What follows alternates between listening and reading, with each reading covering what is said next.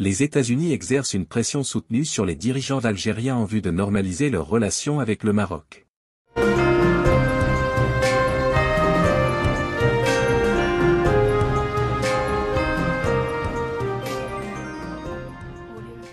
L'administration de Joe Biden à Washington intensifie ses efforts pour convaincre le pouvoir algérien de rétablir une normalisation des liens politiques et diplomatiques avec le Maroc. Ces relations, rompues brusquement depuis août 2021, ont plongé les deux nations dans une phase de tension et d'hostilité sans précédent. Selon des sources diplomatiques consultées, les autorités américaines ont lancé une initiative au cours des derniers mois pour faciliter des échanges et des négociations entre l'Algérie et le Maroc, visant à parvenir à une désescalade diplomatique. Dans le cadre de cette feuille de route visant à réconcilier l'Algérie avec le Maroc, la sous-secrétaire d'État adjoint américaine, Joshua Harris, est arrivée hier, mercredi 6 décembre, en Algérie pour une visite centrée sur le conflit au Sahara occidental, comme l'a annoncé le département d'État américain dans un communiqué. Cependant, selon nos sources, le contenu principal des échanges de cet adjoint d'Anthony Blinken avec les dirigeants algériens ne portera pas directement sur le conflit du Sahara occidental.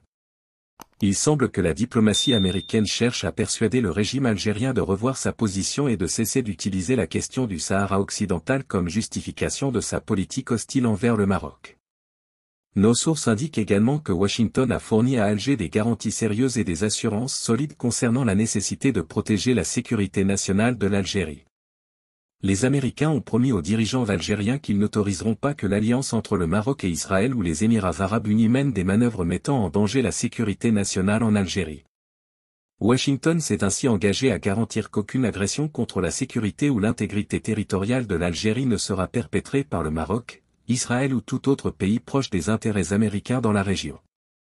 L'objectif de Washington est de garantir un ordre de stabilité régionale assurant la paix tant en Algérie qu'au Maroc. En échange de ces garanties et assurances américaines, Washington fait pression sur Alger pour qu'elle abandonne la radicalité de sa politique anti-marocaine et accepte le principe d'un retour progressif à des relations bilatérales plus apaisées, en laissant le dossier du Sahara occidental entre les mains des différentes instances de l'ONU chargées de trouver des solutions.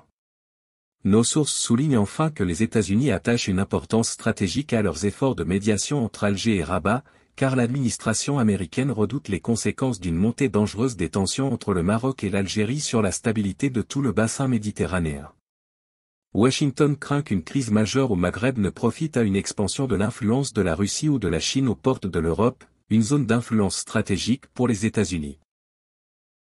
Abonnez-vous à notre chaîne. Cliquez sur la cloche pour rester au courant de l'actualité algérienne.